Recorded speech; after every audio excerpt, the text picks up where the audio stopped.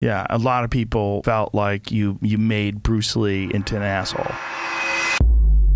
Another thing in Once Upon a Time in Hollywood that, that got controversial was the Bruce Lee scenes. Yeah, yeah. Yeah, a lot of people felt like you you made Bruce Lee into an asshole. Yeah, well, okay, that's okay. I'm a little hesitant to talk about this because I don't want like this to be the only thing, all right, that Right. people pull from from this show. But I figured you were going to bring it up especially because I've heard you guys go back and forth on it in a little bit. I mean, where I'm coming from is I can understand his daughter having a problem with it. It's her fucking father, all right? I get that. But anybody else, go suck a dick.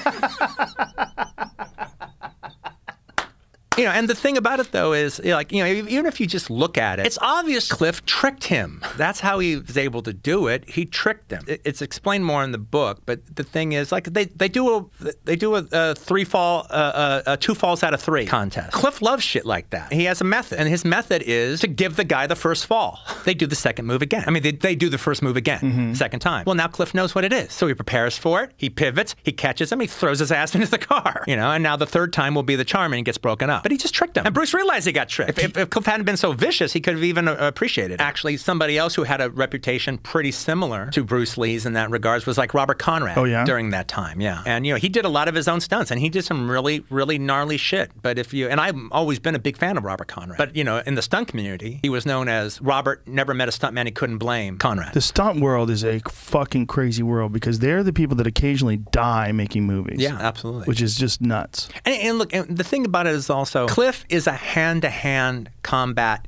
killer. He, you know, he fought in World War II. He fought with the uh, Filipino resistant fighters, you know, uh, in the Philippines against the Japanese. If Cliff fought Bruce Lee at one of Aaron Banks's Madison Square Garden tournaments, Cliff wouldn't stand a chance against Bruce Lee at a Madison Square Garden martial arts tournament. But as a killer who has killed men before, he'd kill Bruce Lee. This guy's not fighting me. He's fighting his instinct to kill me.